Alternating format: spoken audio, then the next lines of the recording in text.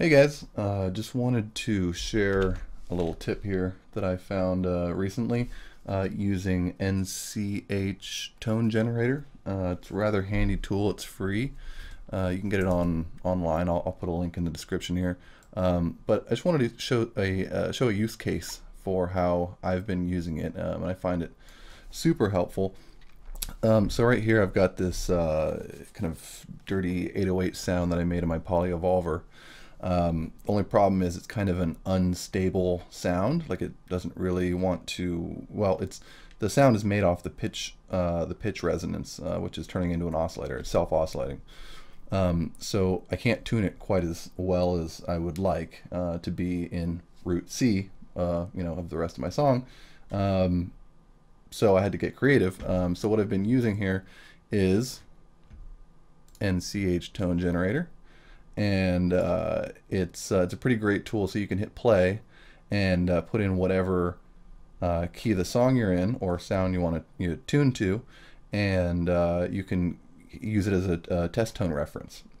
It also shows you on the uh, spectrum here as to where it falls, which is also super helpful if you're like tuning kick drums or something like that, and you want to uh, you know, dial it up and know exactly for sure that, okay, it's hitting in this frequency range.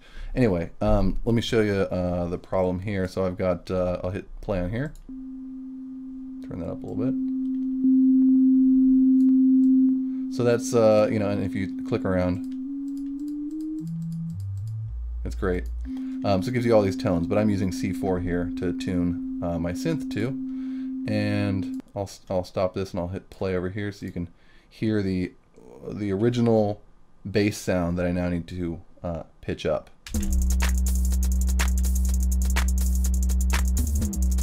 See, it just sounds kind of flat. So what I do here is I bring in this, hit play, and now I know I can just dial up my, um, make that two. There it is. So just a helpful little trick. Let me kill both of these. Um, helpful little trick that I thought uh, I would share with you guys um, as uh, tuning and stuff like that and keeping all your elements of uh, any particular song can be pretty aggravating at times. So this thing definitely helps. Um, anyway, let me know in the comments below if this helped. Uh, shoot me a like and a subscribe and uh, talk to you guys later. Peace.